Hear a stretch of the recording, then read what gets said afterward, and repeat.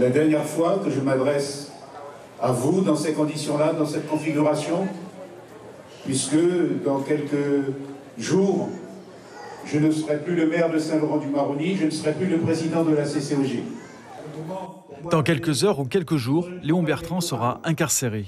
L'ancien ministre délégué au tourisme s'adresse à la foule sur la place du marché. Le public est silencieux. Condamné pour favoritisme et corruption passive, le maire de Saint-Laurent répète ce qu'il vient d'expliquer aux élus municipaux. Il conteste la décision des magistrats. On n'a jamais parlé d'enrichissement personnel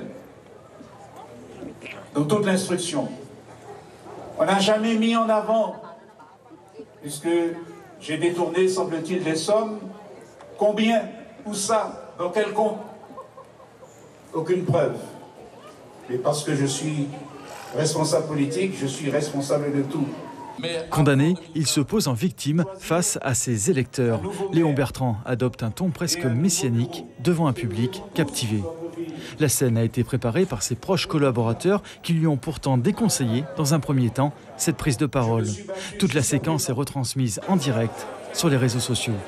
Votre maire de Saint-Laurent-du-Maroni ira en prison mais il ira en prison pour des choses qu'il n'a pas commises. Pour des choses qu'il n'a pas commises. Mais simplement, je respecte la loi. Et lorsque je recevrai ma convocation, c'est tout naturellement que j'irai. Je ne vais pas fuir au Suriname ou je ne vais pas me dérober, parce que je reste un républicain. À la fin de sa prise de parole, les Saint-Laurentais présents montent sur l'estrade pour l'embrasser et lui parler.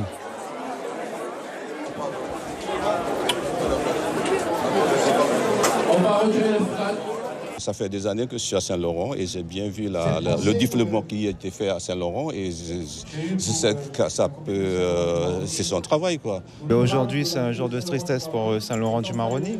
On ne peut pas effacer 35 ans de, de vie avec un homme politique de cette envergure.